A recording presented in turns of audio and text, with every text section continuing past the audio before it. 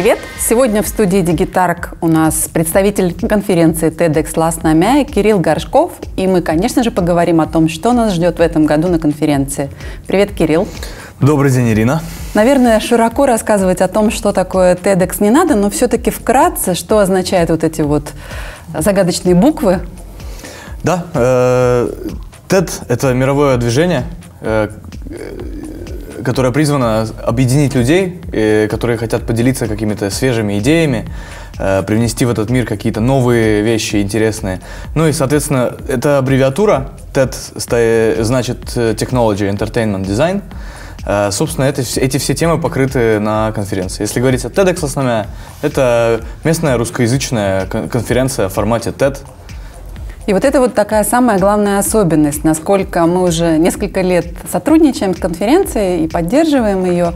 И насколько я понимаю, основная особенность у нас всякого а, рода конференции TED проводятся в Эстонии, но это единственная, которая идет на русском языке, даже если это не родной язык для спикеров. Так ли? Да, так и есть. Э, это основной упор. Мы этим мы хотим показать, что в Эстонии достаточно русскоязычных людей или, или людей, которые могут говорить по-русски, у которых есть интересные мысли, есть свежие идеи, которые нужно услышать всем и каждому. И да, это, наверное, одна из наших особенностей русский язык конференции. Но я хочу отметить сразу, что мы также ведем трансляцию э, синхронным переводом на эстонский язык. То есть э, наша конференция не ограничена только русскоязычной публикой, но на нее может прийти каждый, каждый желающий кто живет в Астане? Я бы сказала, что это еще одна такая особенность, не выделиться в какое-то отдельное русскоязычное течение, а представить всем э, равные возможности, э, узнать чуть-чуть больше и немножечко так между общинами э, ну, что-то, какой-то мостик даже перекинуть. Абсолютно так и есть. Скажи, эта конференция же уже седьмая по счету, если я не ошибаюсь. Чуть-чуть ошибаетесь. Шестая. Шестая, все правильно, да. Шестая, хорошо. И чего же нам ждать на этой конференции? На прошлой вы выстрелили, конечно, выступлением президента. Да. Который был... Э, это выступление было для всех таким большим откровением. Керсти Калюлайт сделала большой шаг навстречу. Она подготовила выступление на русском. Как вы будете перебивать эту карту? Ох, это очень хороший вопрос. Действительно, эстонского президента побороть довольно сложно э, в формате нашей конференции. Мы активно занимаемся поиском спикеров, поиском так называемого хедлайнера. Э, не буду забегать вперед, честно, пока не буду объявлять каких-то сверхспикеров, да, кто мог бы, так сказать, конкуренцию нашему президенту составить. Э, могу упомянуть, упомянуть одного спикера, которого мы готовы анонсировать. Хотелось бы остальное все держать э, в тайне пока что. Такова наша кто же, политика. Кто же вот этот вот человек? Этот спикер, его зовут Анастасия Закурдаева. Она является членом некоммерческой организации «Особый мир» и мамой ребенка с, э, так сказать, особыми потребностями. Вот, и она будет рассказывать о том, как работает мир и как работает человеческое восприятие, если следовать модели э, дал хорошее, получил хорошее. Что это не всегда бывает так, как люди себе задумывают, э, том, не так, как это они себе представляют и как они ожидают. И единственный, пожалуй, способ э, с этим справиться, это просто с, принять так, э, это так, как есть, и идти дальше. Наш мир становится все более таким гуманистическим. Мы стараемся больше внимания уделять тем, кому нужен какой-то специальный подход, какая-то помощь. Поэтому я думаю, что эта тема затронет многих гостей конференции. И на самом деле совершенно не обязательно быть президентом. Можно быть человеком с менее известным именем и рассказать что-то очень интересное. Это я из своего опыта как э, такой посетитель конференции знаю. А для тех, кто еще никогда не участвовал в TEDx Last нами, расскажи, пожалуйста, как это происходит. То есть вот чтобы человек понял, что он не приходит и не сидит на месте 8 часов. А что это такое? Если говорить о самой конференции, как о мероприятии, у него есть своя структура. Э, как правило, мы разделяем речи наших э, участников на блоки в которых 2-3 речи покрыто.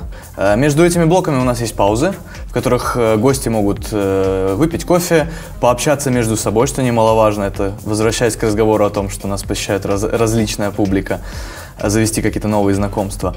Также в паузах э, можно принять участие в интерактивных, э, в интерактивной деятельности, скажем так, которую мы организуем совместно с нашими партнерами и совместно с нашими спикерами, и какие-то TEDx основная интерактивные вещи приносят от себя.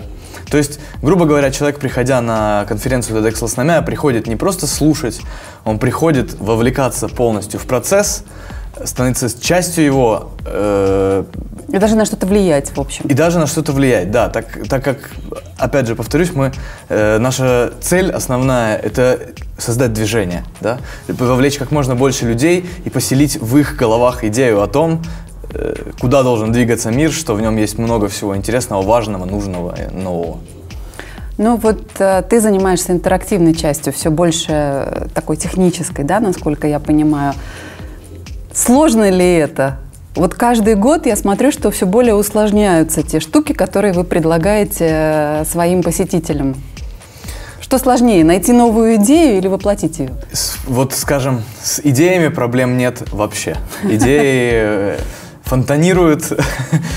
Очень сложно выбрать из, из всего этого множества идей что-то действительно интересное, что-то, что, э, скажем, порадует и удивит наших гостей.